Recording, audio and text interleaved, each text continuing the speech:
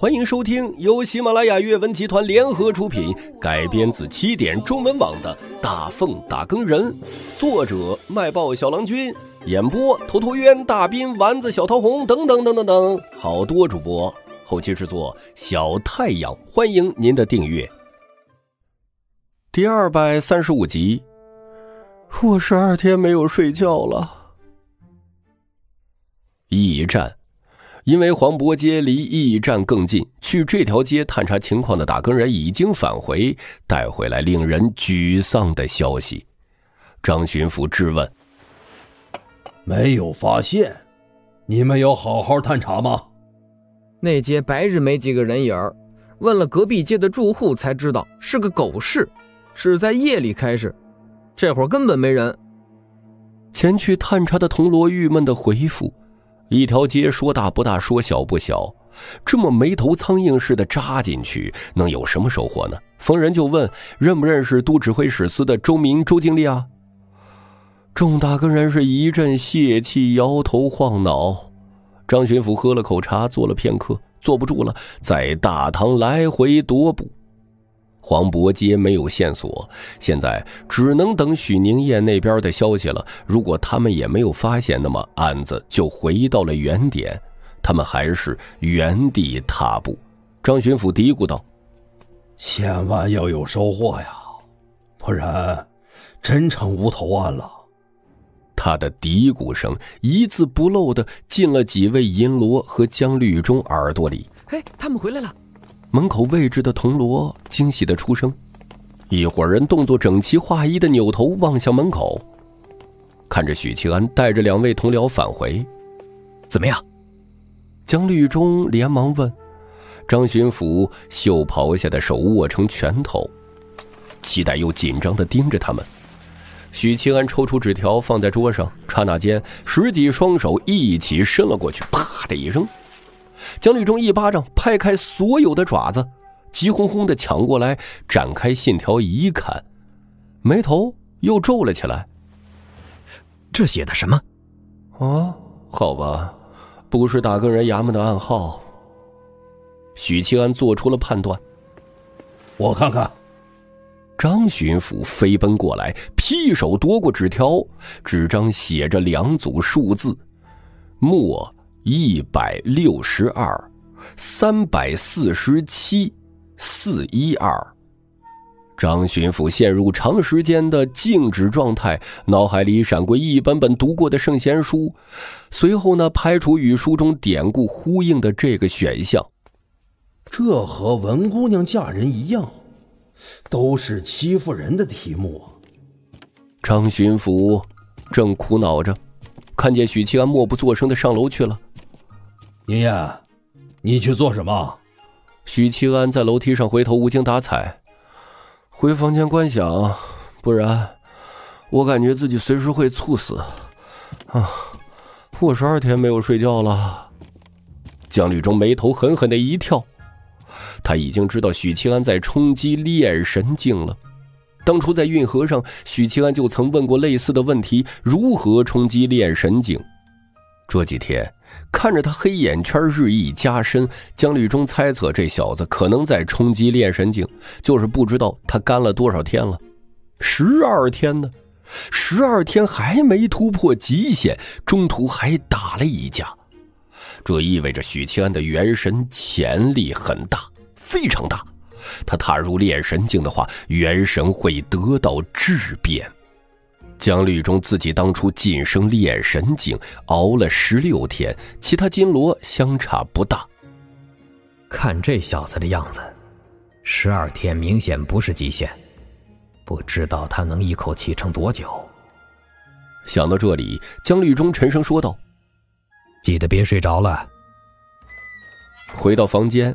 许七安脱掉鞋子，在床上盘坐，边吐纳炼气，边观想巨人图，时而转换金狮咆哮图。渐入佳境，忽然听见了敲门声，他睁开眼：“啊，什么事儿？”爷爷，状态好些了吗？张巡抚的声音从门口传来。得到许七安肯定的答复后，他旋即说道。随我去参加晚宴，会一会云州官场。啊，晚宴。嗯，巡抚大人进城这么久，云州官场不可能不知道。许七安精神状态好了许多，反正也不能睡，在驿站待着无趣。好，大人稍等片刻。他穿上靴子，把放在床头的铜锣绑在胸口，黑金长刀挂在后腰，打开房间的门。张巡抚站在门外，穿着绯色官袍，身姿笔挺，气态斐然。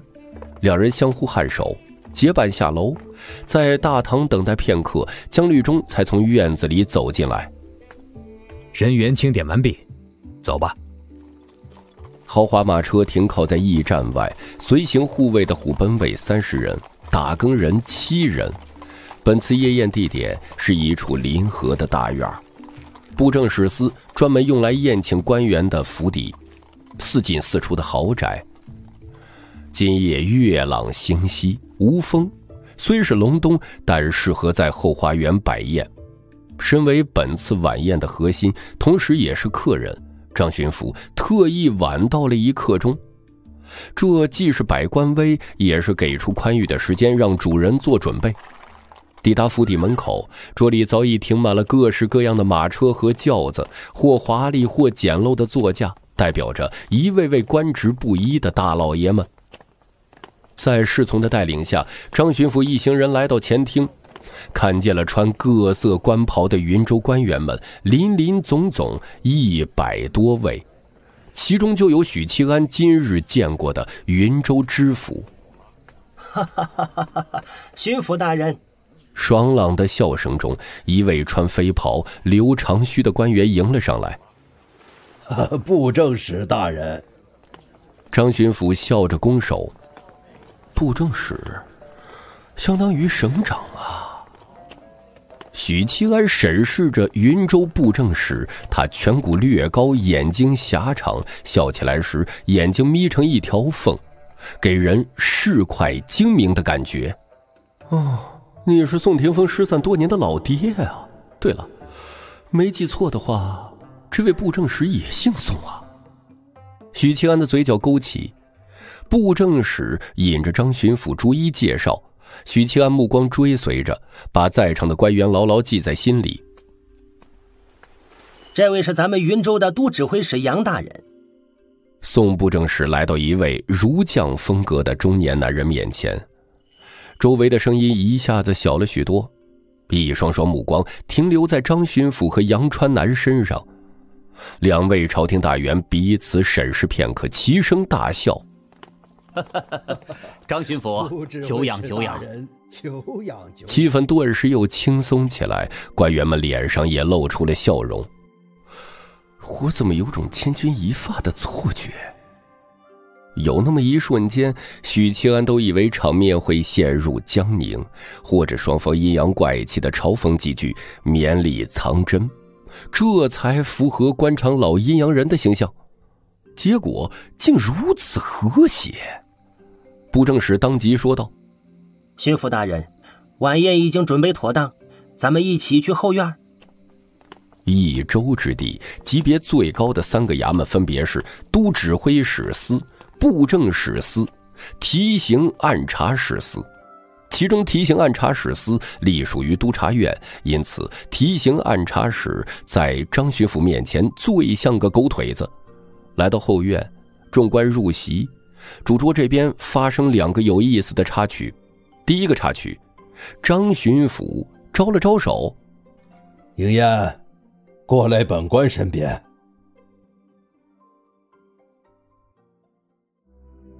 本集已经播讲完毕，感谢您的收听。更多精彩内容，请在喜马拉雅搜索“头陀渊讲故事”。谢谢。